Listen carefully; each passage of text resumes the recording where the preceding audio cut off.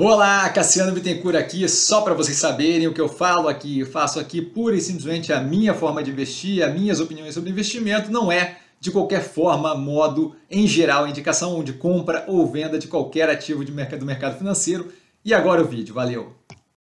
Olá, Cassiano Bittencourt, pelo Visão Estrategista, hoje para analisar o resultado que saiu ontem, hoje de manhã a gente teve a teleconferência da Modal Mais, tá? que hoje tem aí todo um acordo de compra por troca de ações com a XP. É, de qualquer forma, a gente passa ali né, para o inicial, basicamente a operação é uma fintech, incipiente, mas evoluindo, especialmente agora com esse acordo de compra pela XP da operação da Modal Mais, a gente tem ali, deve ter uma evolução mais rápida ainda, tá?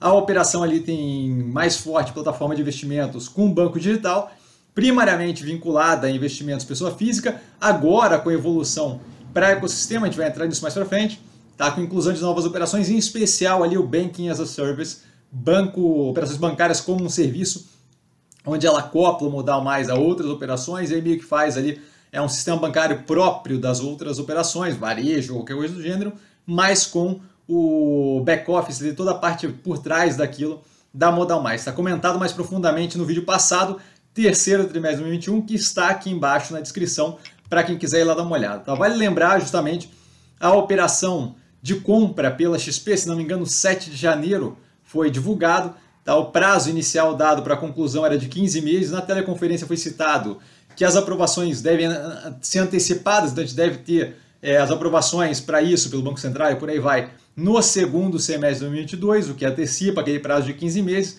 Tá? Eu vejo como bem positiva essa compra pela XP, tá? especialmente se a gente ficar como controle da XP, mais a participação de minoritários ficar separada, de modo que a gente consiga ter ainda a participação no Modal Mais, porém não mais pela Unity, porque todas as ações vão ser convertidas em ordinárias, o que para a gente já é, já traz aí um ganho. Tá? É, a, a, compra dela foi feita, ah, a Cassiano não foi com desconto, não foi com desconto porque ela foi feita por troca de ações. Então a gente teve oferecido uma taxa de troca ali das ações da XP que tinham evoluído de forma negativa, muito próxima, ali, muito parecida com a evolução da Modal Mais durante esse período mais tenso, e aí a gente tem aquela troca de modo que, evoluindo é, a ação da XP é, e evoluindo a ação da Modal, a gente não tem provavelmente uma perda ali é, de desconto. Foi pago por uma ação da Modal descontada com uma ação da XP descontada, então acabou ficando ali um, um, um termo de troca que eu acho bem interessante. Tá? De qualquer forma, é, eu vou fazer os seleções tá, do que foi dito na live, nas lives da época. Tá? Para quem quiser antecipar, é o compondo a tese do dia 7 do 1. Tá? A live 145 deve ter alguma pergunta respondida sobre isso. E a live by Warren de número 15, 015, também deve ter alguma pergunta. Eu vou depois vasculhar ali e vou procurar fazer um compilado justamente para botar no canal seleções sobre a compra da modal pela XP. Tá? O resultado, novamente, alinhado, crescimento contínuo, muito forte. Tá? Aproveitamos esse momento justamente para olhar o resultado anual, casa com o período de avaliação, a gente começou com a análise do IPO e logo na sequência analisando o primeiro trimestre de 2021 e seguintes até o quarto trimestre, a gente fecha justamente o ano de 2021 inteiro analisado, mais as análises do IPO todas aqui embaixo com essa do quarto trimestre que vocês estão assistindo agora. Né? Fica clara, óbvia, pública e notória a evolução da operação no período e descasamento da evolução do preço nesse mesmo período. Certo? A gente tem uma operação financeira que evolui demais e o preço dela tem uma derretida considerável. A boa execução é vista claramente no due diligence. Tá? Antes de mais nada, acho que vale justamente a abertura dos movimentos que ela fez. E aí entra a M&A, tá? as fusões ali, é, IPO, fusões e aquisições, né? IPO, é, as parcerias desenvolvidas, especialmente aquela do Credit Suisse pré é, de, de IPO, tá na tela justamente para o pause, para quem quiser dar uma olhada. A gente vê ali a Livon, que foi justamente a parte que permitiu uma entrada mais forte no Banking as a Service. Tá? Fora isso, crescimento agressivo em tudo durante o ano. Tá começando com Assets Under Custody, tá? ativos, é, ativos sob custódia. Tá? É, a continuidade de um crescimento forte, praticamente dobrando em um ano, quando a gente vê ali o anual. Né? A base de clientes cadastrados e ativos também cresce consideravelmente durante esse ano, atingindo ali de ativos aproximadamente 580 mil. Tá? É, a gente tinha 501 mil no terceiro trimestre de 2021, então continuou aí uma evolução consideravelmente positiva, especialmente no mercado tão disputado, tá? que é o de novos investidores e por aí vai. A composição da receita bruta, como denotado outras vezes, como algo bem positivo que a gente vem acompanhando há bastante tempo, com uma diversificação forte e a evolução dessa diversificação, tá? mais que duplica a receita bruta no ano. Tá? A abertura do Retail Portfolio e do Retail Flow na tela, tá? respectivamente quase três vezes é, do ano anterior o Retail Portfolio, o Retail Flow 19,4% de crescimento. Tá? Ambos ali representam entre 26% e 29% da receita bruta, então são pedaços bem relevantes da operação. Então, o mercado de capitais e a mesa institucional com um crescimento agressivo. Mais informação aí para o pause, eu acho que não, não tem muita dúvida do quão positivo está sendo essa área.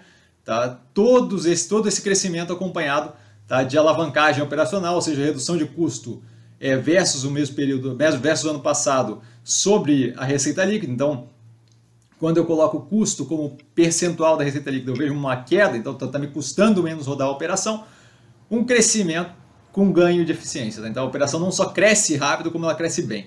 O SG&A, o vendas, é, despesa com vendas gerais administrativas, tá? também com uma redução como percentual da receita líquida ano a ano, tá? versus o ano passado, mostrando justamente, novamente confirmando a continuidade dessa qualidade da operação, crescimento com ganho de eficiência no processo. Tá? O resultado é justamente um lucro líquido muito positivo, 3,1 vezes é, o lucro líquido do ano, do ano anterior. Tá? A margem vai de 14,8% para 21,4%, um crescimento muito positivo na lucratividade, mesmo com, reforçando, mesmo com um crescimento muito agressivo. Tá? O resultado basicamente dispensa qualquer explicação mais profunda. Tá? A capacidade operacional e planejamento estratégico da operação alinhado com boa execução é óbvio. Tá? Alinhado também com o contínuo desenvolvimento do ecossistema que inclui ali o Banking as a Service, agora que eu vejo como algo muito positivo, tá? que coloca justamente a evolução operacional contra a evolução do preço é, como algo claramente discrepante. Tá? Muito ainda para evoluir, a operação ainda tem muito para crescer, ainda está muito longe de uma forma maturada e deve ser auxiliada tá? na capacidade de ser mais agressiva nesse crescimento e de talvez galgar é, voos mais altos com o controle da XP, que deve ter ela ali como um, um, um, braço agressivo de crescimento nessas áreas de Banking as a Service, é, a parte de investimento, ela deve continuar rodando separadamente, então continua sendo a mesma operação, só com auxílio agora, como se fosse, eu vejo pelo menos como se fosse com um irmão mais velho ali protegendo, tá? A minha posição tá aqui do lado, vocês podem ver ali que tem uma posição bem casadinha, uma delas é uma borrifada, tá? E a outra, de fato, é uma composição é, do portfólio principal, borrifado ali é na conta da Warren. Isso está explicado na live 001 da Warren. Eu devo colocar como seleção também, justamente para a galera poder procurar direto isso, não ter que ficar voltando na live 001. Tá? A operação para mim é um no-brainer, não, não, vejo dúvida aqui do porquê ter essa operação na carteira. Tá? É a única fintech que eu vejo com capital aberto no Brasil, efetivamente fintech. Tá? E agora, dependendo de como for a operação da XP, continua com o controle da XP com capital aberto ou passa a ser é, um pedaço da XP, independente disso, ótima operação. Tá? O longo prazo muito positivo, especialmente com a entrada da XP no controle. Tá? Dúvida? Eu tô sempre no Instagram, arroba com sim. Só ir lá falar comigo, não trago a pessoa amada, mas estou sempre lá tirando dúvida. E vale lembrar que quem aprende a pensar bolsa opera com mero detalhe. Um grande abraço a todo mundo e até amanhã com alguma das quatro, quatro, três ou quatro resultados que devem sair hoje, tá? Valeu, galera!